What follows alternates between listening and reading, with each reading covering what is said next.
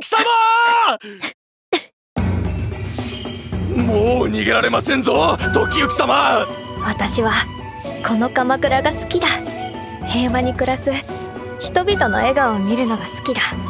まったく逃げるのと隠れるのばかりが得意なお子だ。同じ武士でも高氏とは器が違いすぎる。怠惰臆病。それでいいお飾りの私に文武の力など無用の長物だ。